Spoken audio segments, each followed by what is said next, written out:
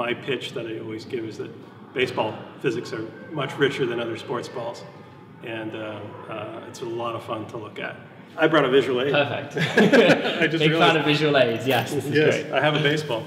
Uh, and this baseball has my homemade Pitching Ninja logo on it, by the way. It's got this shape of, this, of the, the seam pattern. You see that shape on a few other sports balls, uh, but not in conjunction with seams of this shape and size. And so what's interesting about it as the ball flies through the air, you can have a seam on the front and a seam on the back at the same time. The one on the front will cause the flow to become turbulent, the one on the back will cause the boundary layer to separate. And that can be asymmetric, and that causes forces on the ball. Uh, If the ball, if the ball is moving this way, um, the air flows over the top and the bottom, and it, it only encounters smooth leather. Baseballs are smooth enough that at 90 miles an hour, where they're typically the typical speed for a baseball, the boundary layer will stay laminar, meaning that it's steady. Um, it, uh, it, Smooth. It, smooth. It doesn't fluctuate in time. And one of the funny things about laminar boundary layers that's counterintuitive to most people is that if you have a laminar boundary layer on a bluff body like a ball, the boundary layer will leave the surface and create a wake sooner than a turbulent one will.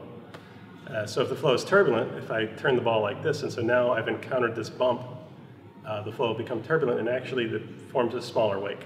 And this is the reason golf balls are divoted, is to, to create turbulence so that they have a smaller wake.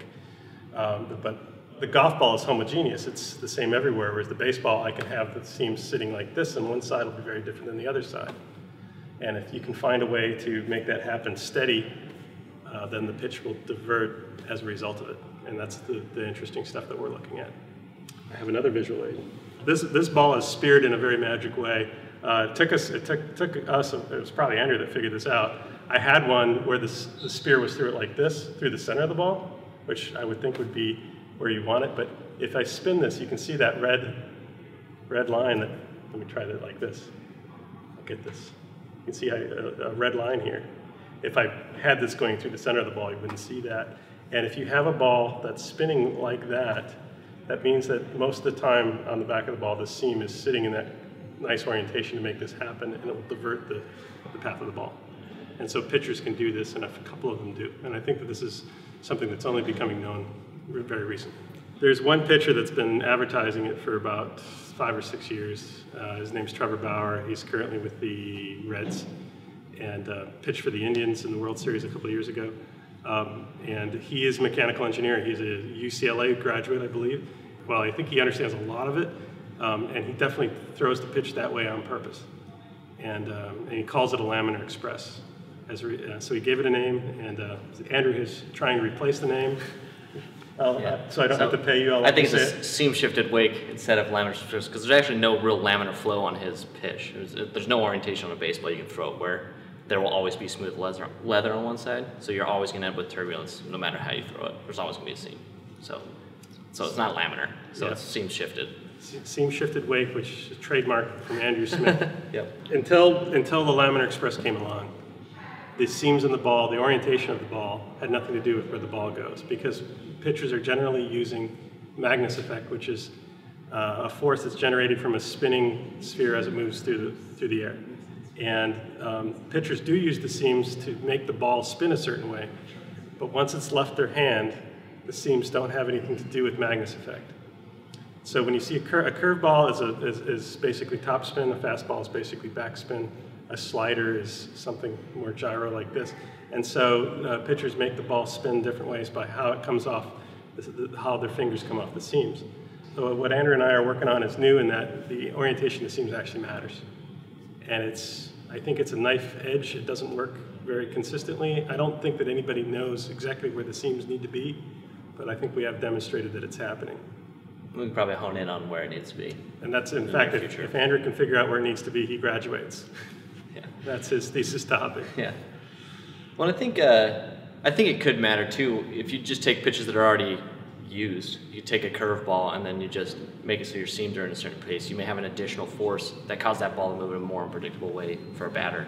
It takes maybe a pitcher who has three pitches and maybe maybe gives him two more that are similar. He doesn't have to change any of his mechanics. He can throw the ball the same way. Maybe get an additional uh, amount of movement. So far, we've seen a changeup, which is a changeup is traditionally a pitch that's thrown.